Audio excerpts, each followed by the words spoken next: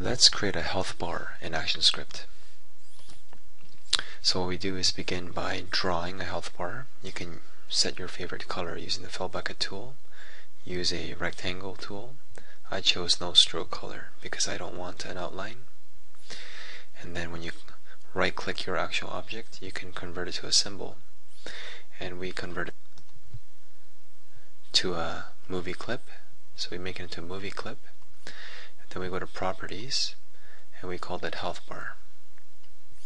Okay, once you call this health bar, we're going to go to our code on frame 1, window actions or F9. What we did here is we created a variable. I say variable health, and we'll just make this a number, is equals to 50, and we have variable max health, which is also a number, is equals to 100.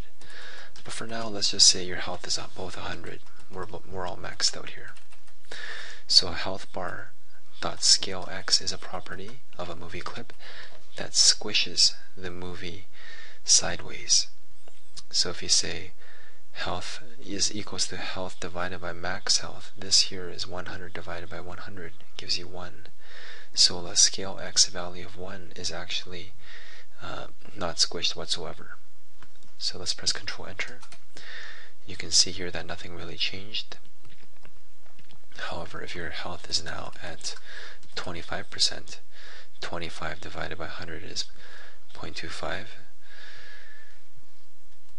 So when I run it now, you can see it's all squished down to 25%. So here, the idea of a scale x value being 2 means twice as large.